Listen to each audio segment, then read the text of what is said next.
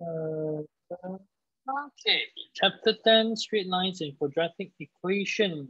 So now we are going to draw something called a straight line. Straight line graph shows the relationship between the y coordinate and the x coordinate. So let's look at the things that you're supposed to know before we start.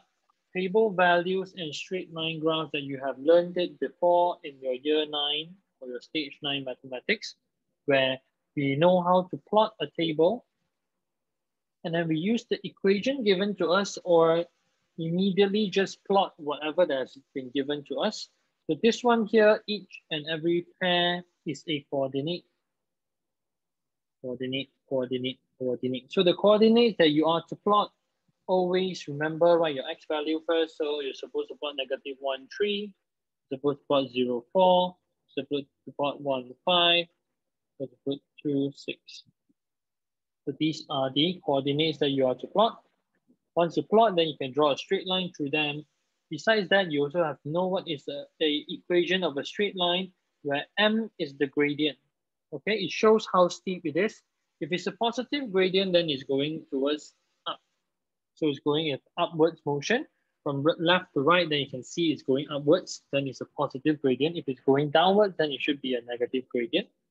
C, this one here is what we call a constant where it crosses the y-axis.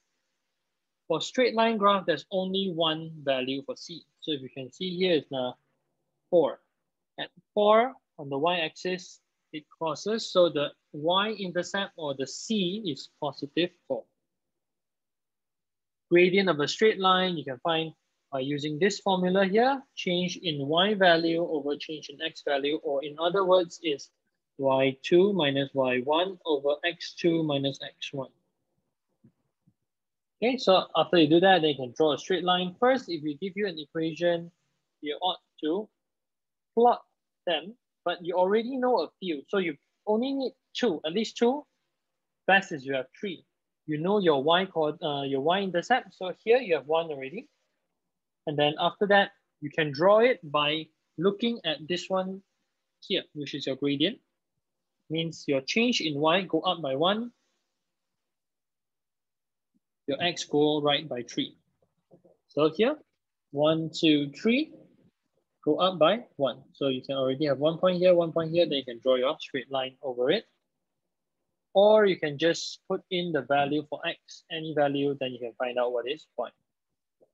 Okay, so straight line here is the same thing, but then you just use information to plot the line. So if you have certain things, it says owns a boat hire company charges $40 flat and then another $15 per hour of hire. So first, we're going to see that every time we can form an equation here because there's every time you need to have a flat charge first, means that there's like a fixed cost, then your total cost per hour. So you can see total cost is equals to y flat charge is here. And then this part here is your hourly charges. X is your hour. So when we have a graph like this, we can immediately see any time. Two hours, how much I'll earn, five hours, six hours, 10 hours, how much I'll earn based, based on the straight line graph that has been drawn. So what you can do is you can input your X value to find out what is your Y value. So all of these, like just now, all of these are coordinates.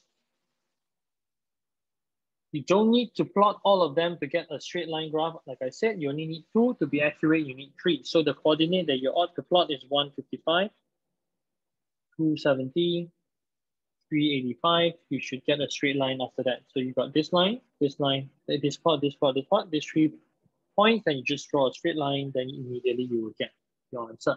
You will notice that the fixed cost that you are drawing here, this is your 40 right here. Because that is your constant. Like I said, every time you will go through that one particular point. So next, you also can do the same thing, your coordinates here. So how to get your coordinate? Your y value is basically, you put in your x value into the equation here. So this y here is actually y is equals to 2, negative 3 plus 3. Negative 3 times 2 is negative 6 plus 3. y is equals to negative 3. This is your origin of this value right here. So we do the same thing by changing this negative 2 here. You put your negative 2. Instead of putting negative 3, you put it here. Then you can find a different y value. Okay, so this is a work example. This one shows a negative gradient. As you can see, as an example here, I'll show you it goes a downwards motion. You're reading from left to right, it goes this direction. So it's a negative gradient.